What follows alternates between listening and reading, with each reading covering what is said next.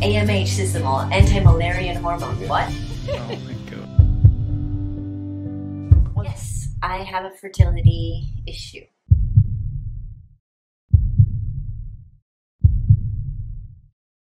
Having kids was always on the cards, just yeah. when, but we were approaching our 40s. We were just thinking it's a time pressure thing. It ended up with a miscarriage. That was when we were both thinking, I think we need more help.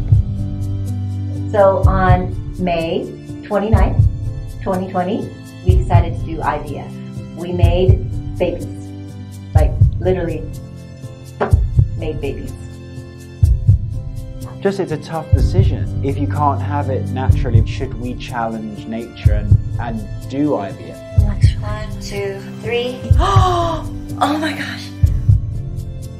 You know how it works, but you don't really know how it works. 到底要不要动人？IVF 是什么？AMH 是什么？Anti-Müllerian hormone what? The question is, why do people do it? Why do we have kids? It was a true love story. Yeah, like an 80s movie. oh my god. Once you hear the heartbeat, it becomes real. It's scary. Emotional. It's everything.